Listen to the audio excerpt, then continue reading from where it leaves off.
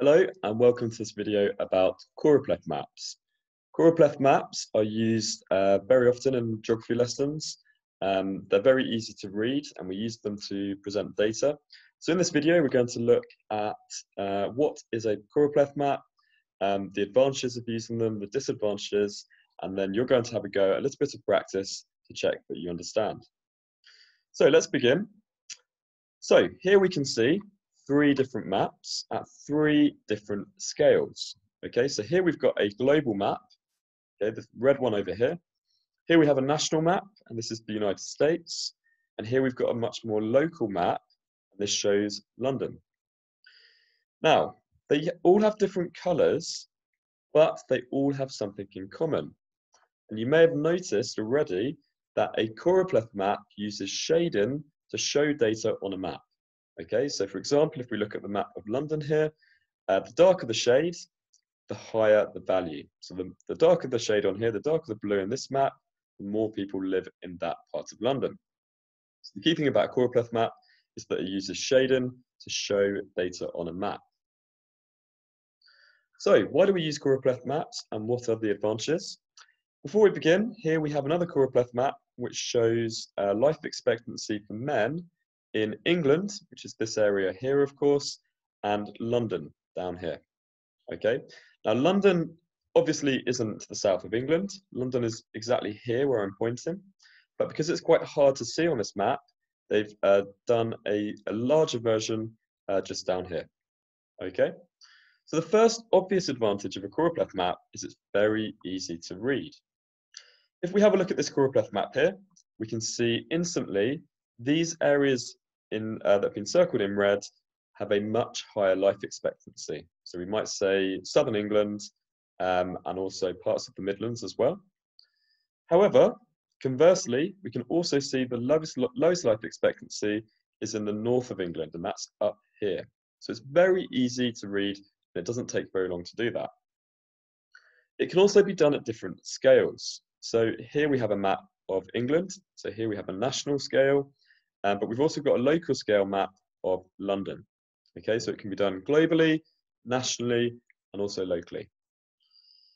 And the final advantage is that in our key, which is up here, um, the groupings in the key, the numbers that you use can be adapted to reflect the different values. Okay, so here they've gone uh, from 55 at the bottom, the lowest value, up to 70.3 years as the highest value. But there are some really big disadvantages about using choropleth maps. First one is that it assumes the whole area has the same value and therefore it doesn't really allow for variation. So what do I mean by that? Let's have a look at Canada. So Canada is here, where I'm pointing at the moment. We can see that Canada has a life expectancy of over 85 years. Okay, so on average, people in Canada live above 85 years. But does that mean that everybody in Canada, in all different parts of Canada, live to the same life expectancy? The answer, of course, is no. So, in fact, in some parts of Canada, the western side, for example, may have a lower life expectancy, and people may live beyond 85 in the eastern side of Canada. But from this map, it's very hard to work out that information. So that's the key disadvantage. Another key problem is that changes along boundaries are very abrupt. So if we look at this map, here we have Algeria, where I'm pointing now. And to the south of that, we have Mali. Now, according to this map, Algeria has a life expectancy approaching 80, 80 years, somewhere between 75 and 80 years, whereas Mali has a life expectancy that's closer to 60 years. In reality, crossing that line doesn't mean life expectancy drops by 20 years. It will be a much more gradual change. Okay, so a problem is that changes along boundaries are very abrupt. And the last problem, not so much for a problem with this map, but if, the, if all of the, uh, the um, countries are coloured in the same colour, but with different shades, it might be quite hard to distinguish between the shading of the same colour.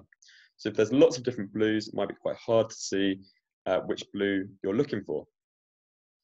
Okay, now time for some practice. So we have a map here of the boroughs in London, and there are four questions I'd like you to have a go at with the marks in brackets after each question.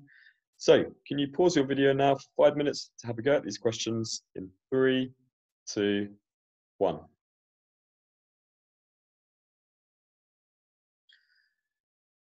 Okay, welcome back. Um, here are the answers to those questions. Um, so name three London boroughs where rent is between 1,250 and 1,500 pounds a month. It could be any of the bor uh, boroughs that are in yellow. Okay, so Brent, Barnet, Haringey, Newham and Greenwich and Kingston. What is the average rent price in the London borough of Wandsworth?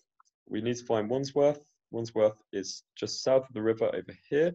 Okay, that's orange. So if we look at the key, that's 1,500 to 2,000 pounds per month. State one advantage of using choropleth maps to present data. As we said earlier, it's very easy to spot patterns. So the obvious pattern here is the closer to the center you are, uh, the higher the rent. And finally, explain one problem with this method of presenting data.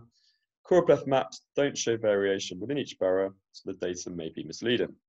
So if we look at Barnet, for example, over here, um, it doesn't mean that all of the properties in Barnet will be this rent. In some parts of Barnet, they may be much higher. In some parts, they may be much lower. However, a choropleth map does not show that. Okay, I hope you found that interesting. If you have any more questions, please speak to your geography teacher.